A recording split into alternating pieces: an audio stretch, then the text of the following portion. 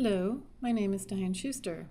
In this demonstration, I'm going to show you an easier way to configure the Dataflow Task Plus when you're working with SQL Server tables for both the source and the destination.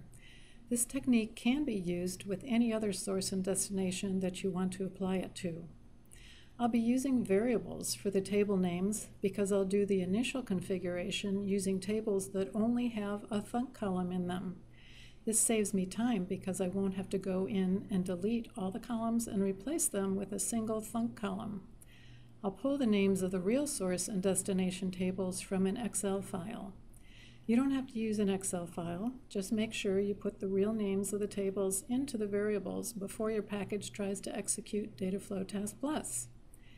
Another thing I want to point out in this demonstration is that Dataflow Task Plus can map columns just fine, even when the source column names are in lowercase and the destination column names are in uppercase.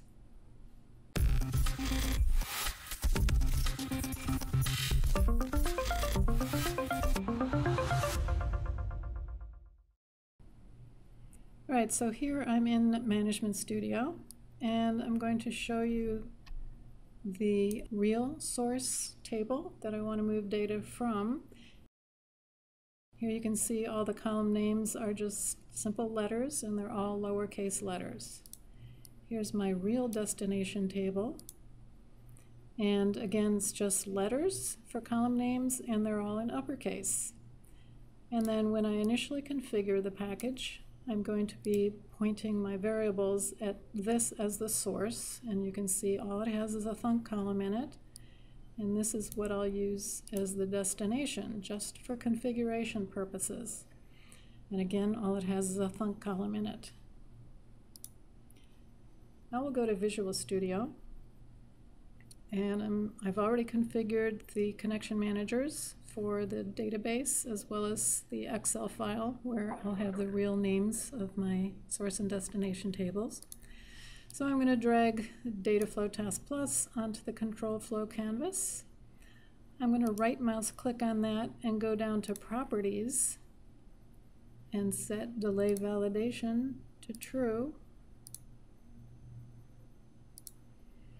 And now I'll go over to the Dataflow canvas and before I go any further, I want to set up my variables.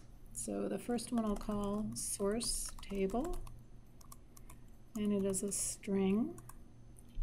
And here I can just copy the name of the source table from a text file.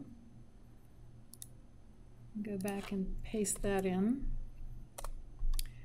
And then my other variable is going to be called dest table. And again, this is going to be a string data type. And go over to my text file again and copy the name of the destination table. Put that in as a value. And now I want to use the OLEDB source component which is just a Microsoft SSIS standard component. And I'm going to be using a data access mode that pulls, uses a variable for the name of the table. And this will be the source table variable. And here you will preview. Again, all you have there is the thunk column. And then, of course, I'll use the OLEDB destination for the destination. I can connect these. Go into the editor, and again, I use, need to have it pull the name of the table from a variable. And that variable will be dest table. And I'll go to mappings now so that the thunk column from the input column gets mapped to the column in the destination column. Now I'll go back to the control flow canvas and I want to enable the dynamic capabilities. So I open up the editor for Dataflow Task Plus and I'll set this to enabled for the source and enabled for the destination. So now that's, we're all configured as far as Dataflow Task Plus, but we're not pointing at the actual tables with our variables. We're pointing at those special ones that we used for setup.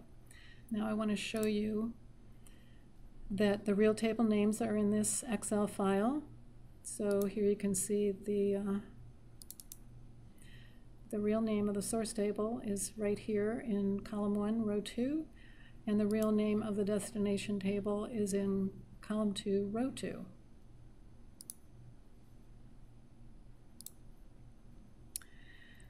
So now I'm going to use COZYROC's Excel task. I'll use it twice.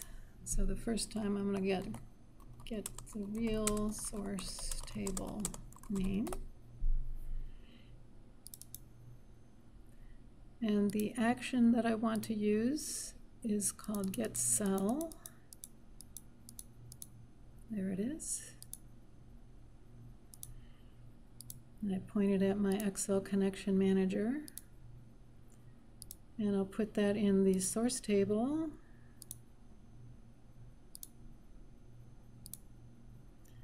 And again, the source is in column 1, row 2. And then I'll use it again for the destination table name.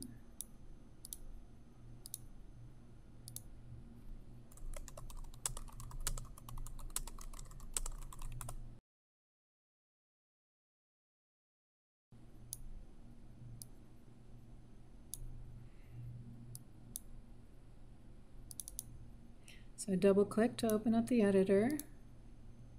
And again, I'm going to use the get cell action. Point at the same connection manager. The result will go in the dest table variable. And this name is in column 2, row 2. All right, so everything should be good to go. I saved the package and I execute it.